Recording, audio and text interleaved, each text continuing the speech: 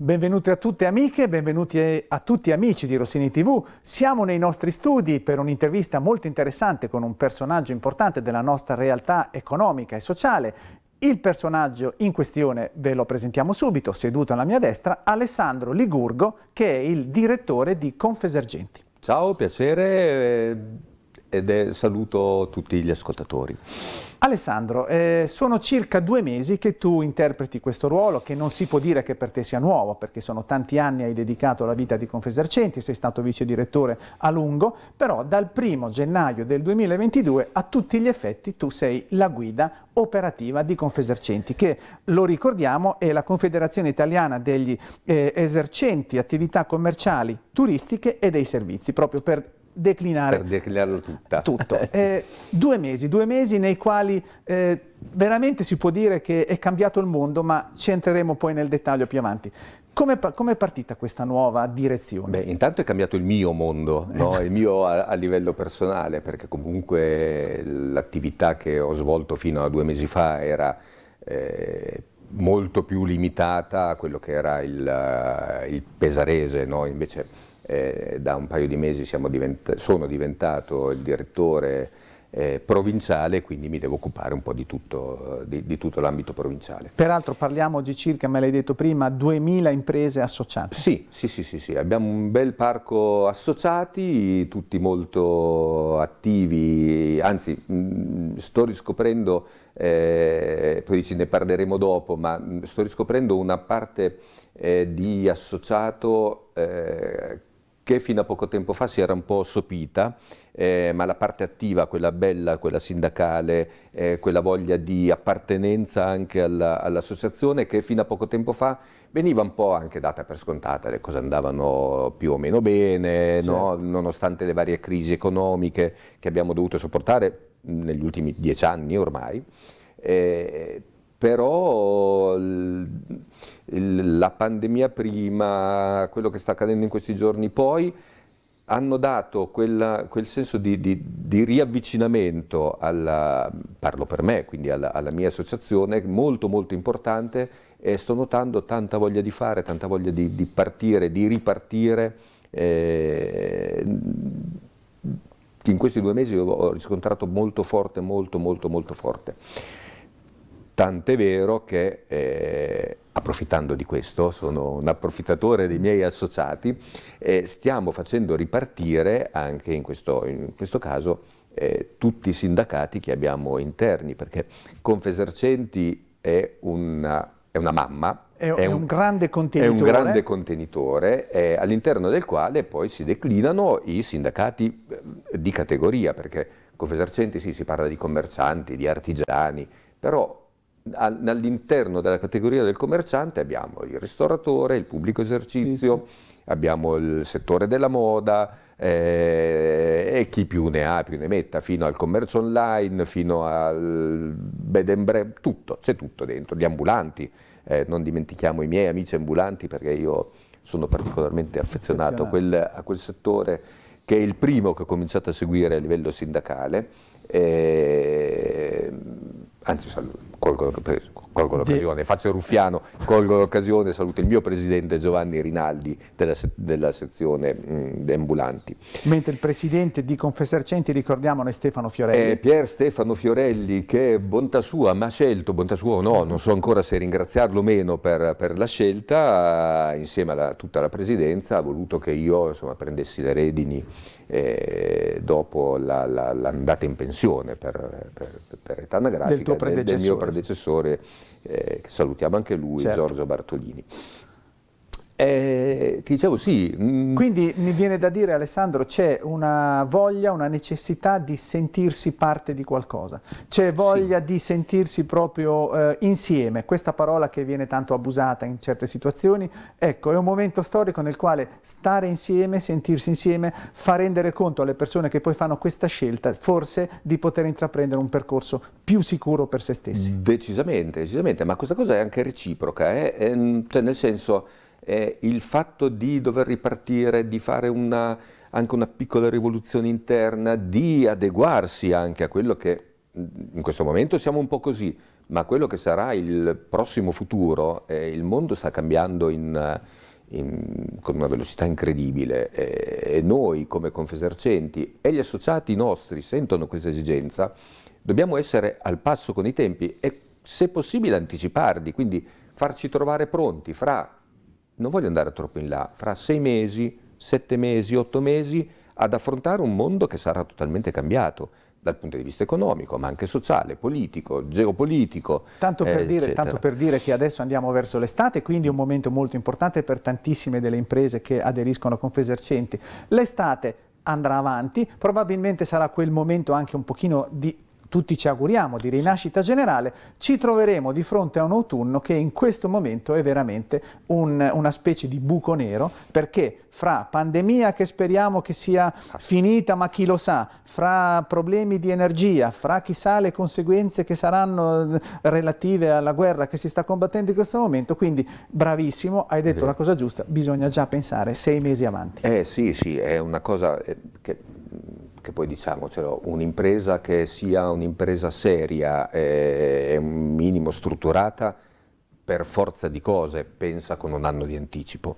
Eh, noi dobbiamo essere allo stesso passo, se non ancora, se non ancora più, più, avanti, perché comunque l'impresa associata a Confesercenti va in qualche modo guidata, eh, va avvisata dei pericoli eh, eh e va in qualche modo coccolata, protetta, perché questa è la nostra, è la nostra mission, no? Esatto, Alla perché fine. al di là dell'aspetto che tu hai già nominato, sindacale, quindi contrattuale, eccetera, la grande forza di Confesercenti è proprio quella di offrire in realtà poi servizi, affiancamento, possibilità di crescita e strumenti. E strumenti, strumenti che stiamo mettendo in campo, ne abbiamo già quelli un po' classici che abbiamo già messo in piedi, strutturati da, da parecchio tempo, ma ne abbiamo in cantiere un sacco. Abbiamo adesso il PNRR che in qualche modo dovrà aiutare le imprese, noi dobbiamo essere in grado di fungere da intermediari no, rispetto a queste cose, perché molti bandi poi sono difficili da declinare, presentare certo. le domande, e dobbiamo aiutare le imprese anche in questo, quindi stiamo già creando un, e formando il personale, perché stanno cominciando a uscire questi bandi del PNRR, eh, per aiutare le imprese, quindi chiamare le imprese, qualche volta anche non nostre associate, eh, proprio perché devono essere aiutate, devono essere guidate, eh, eh, ricordando sempre che la rete, che può essere una rete di impresa, ma la rete fa anche capo a un'associazione come la nostra, e fare gruppo aiuta anche a risolvere o perlomeno ad attenuare i risvolti negativi di quello di cui è accennato. Arriveremo a ottobre, il gas, l'energia, quanto incideranno su un bilancio di un'impresa? Eh, dobbiamo trovare un sistema, noi già ce l'abbiamo, anzi qui mh, mm, abbiamo un, una, bella, una, bella, istituzione a livello nazionale addirittura partita eh, e questa è una da, cosa molto, nazionale, molto importante. Eh, abbiamo fatto una, um, un consorzio, un nostro consorzio di Confesercenti, eh, al quale aderendo assolutamente in modo gratuito, mh, basta essere associati a Confesercenti, eh, si hanno dei gran benefici dal punto di vista del, della bolletta proprio. È un, eh, un tempo fa, un paio d'anni fa, forse anche qualcosina di più, l'avevamo chiamato ufficio risparmio perché effettivamente dà delle, de, delle, soddisfazioni a quel punto di vista, blocca il prezzo delle bollette, hanno un bell'ufficio, bello strutturato, bello, bello potente e già annovera all'interno qualcosa come 10, 12, 15 mila associati mm, questo a livello del nazionale, a livello, a livello, a livello nazionale. nazionale. e a livello provinciale direi che già abbiamo dei bei numeri eh, importanti collocati lì. Eh, però ecco, abbiamo bisogno di essere un anno e un po' avanti eh, per capire anche quello che succederà. Per eh, esempio una, una, questione importante che mi piaceva affrontare con te proprio sì. riguardo alla programmazione e a quello che poi sarà eh, l'immediato futuro, il cambiamento, ciò che eh, fra qualche un, diciamo, un anno e mezzo accadrà per esempio per tutte le imprese della balneazione, allora mm. voi vi siete spesi in prima linea per sì. affrontare il discorso della legge Bolkenstein, che è quella che determina a livello europeo che vengano fatte delle gare è per vero. l'aggiudicazione proprio degli spazi, delle concessioni, delle concessioni sì. demaniali, ecco voi vi siete già spesi e avete affrontato e state affrontando insieme alle vostre imprese associate questo, questo snodo che è fondamentale per la loro sopravvivenza. Assolutamente, poi mh, considera che il nostro presidente regionale è un, uh, è un bagnino, è un bagnino. ha una eh, tra le altre, tra, tra, le varie attività imprenditoriali di, di cui a capo, eh, ha anche un paio di stabilimenti balneari in quel di San Benedetto, quindi figurati se non ha necessità di, eh, di intervenire su questa cosa, ma ci siamo spesi tantissimo su questa cosa, eh, interfacciandosi con eh, la regione, ma anche con i singoli consiglieri regionali di, di tutte le parti, perché a questo punto non abbiamo eh, e Confesercenti comunque non ha una collocazione politica, ma è sindacato, sì, eh, sì, sì. sindacato delle imprese, ma in questo caso ci ritroviamo con una sentenza della Corte dei Conti che ci, ci ha dato una, una mazzata veramente eh, terribile eh, quando a poco tempo prima avevamo una legge che insomma, regolarizzava no, le, le, le concessioni e in questo caso ha ripreso la Bolkestein e a questo punto bisogna legiferare. Eh, cosa vuol dire legiferare? Tener, cercare di tener conto anche di tutti quegli investimenti eh, di tutta la fatica, il sudore che viene speso nelle concessioni, perché diciamocelo, eh, quello che è concessione è, è sabbia, mm, è sabbia sulla quale poi un imprenditore che è serio ha investito pesantemente impiantando cabine che non sono dello Stato ma sono dell'imprenditore, eh, lettini e tu, tutto quello di cui poi usufruiamo andando in spiaggia e che siamo, eh, contenti, che siamo, che siamo, contenti, di trovare. Eh, esatto, esatto, che siamo assolutamente contenti di trovare. Eh, oltretutto la legge già eh, de determina di suo la quantità di spiagge libere che nello Stato ci devono essere, per cui grandi problemi io non ne vedevo prima. Ora c'è una sentenza, eh, bisogna, eh, va rispettata perché è una sentenza dello Stato, quindi va, va, va rispettata assolutamente, come, come, tutte le, le leggi, però bisogna legiferare. Abbiamo questo anno e mezzo ormai di tempo per poterlo fare, noi ci siamo già attivati tanto attraverso la, la Regione che può fare, come ha fatto già diverse volte, da capofila proprio la Regione Marche nei confronti dello Stato per poter arginare eh, quello che in teoria potrebbe essere una catastrofe per centinaia di migliaia di, di operatori. Mm. E non parliamo solo di operatori, ma anche di tutti i dipendenti cioè, del tutto l'indotto tutto l'indotto, certo. poi le, le, fabbriche che fanno il lettino piuttosto che l'ombrellone, eccetera.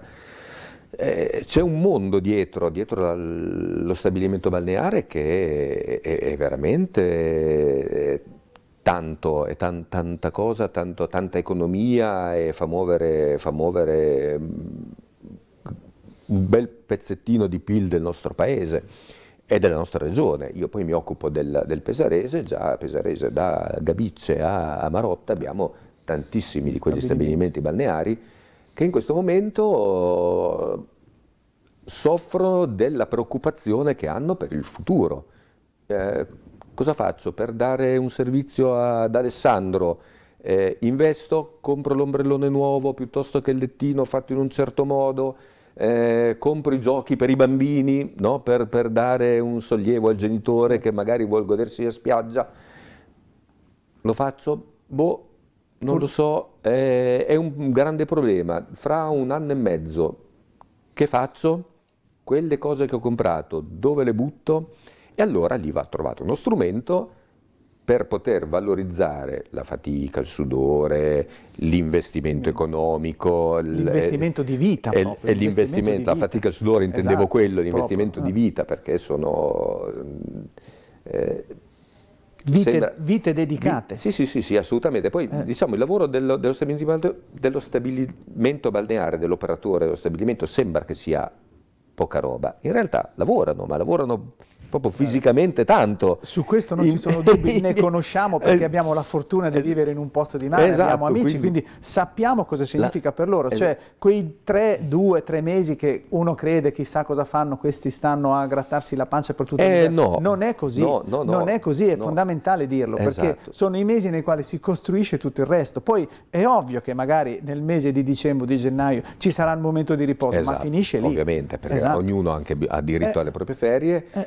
Eh, dopo è vero, no, abbiamo, no, ho, letto sui social, ma anche sui giornali, un po' dappertutto, le concessioni costano poco rispetto ai commercianti, questo è vero, ma non è colpa del, del, dell'operatore, eh certo. in questo caso è colpa dello Stato che non ha mai messo mano, come sta cominciando a fare adesso perché è obbligato da questa dalla, sentenza, dal, da, dalla sentenza, dall'Europa prima, esatto, dalla sentenza, dalla sentenza. poi, è, è, obbligato a rivedere un po' tutto il sistema del, delle concessioni, del pagamento, perché effettivamente eh, qualche concessione pagava veramente poco rispetto a quello che può essere un affitto di un commerciante certo. o comunque del valore commerciale che può avere quel tratto di sabbia no, sul quale puoi impiantare un'attività. Un, Abbiamo parlato adesso di questo tema che rientra comunque in maniera abbastanza diretta su quello che è il grande contenitore del turismo. Voi siete stati protagonisti di un evento di cui Rossini TV ha parlato con eh, lo speciale dedicato a questa borsa del turismo, è avvenuta circa dieci giorni fa